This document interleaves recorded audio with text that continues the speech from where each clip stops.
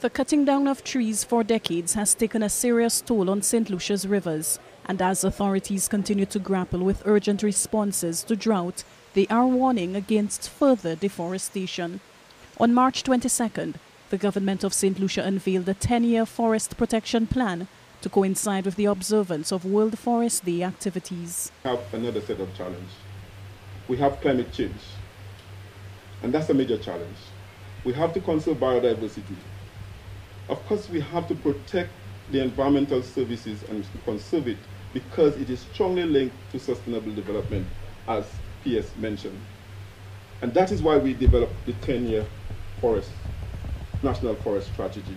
St. Lucia's Sustainable Development Minister says the world must wake up to the fact that forests play a vital role in poverty eradication, environmental sustainability and food security. Question of protecting water supplies, it, and, and it is so it is so correct for, for this activity to fall the day after World Forest Day and on World Water Day because without the forest in St. Lucia, there can be no water.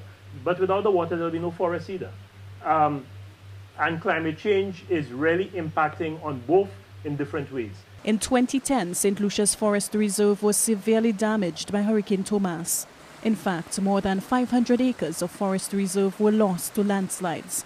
Fast forward to 2016, and despite some restoration work, it is clear that St. Lucia can ill afford further land degradation.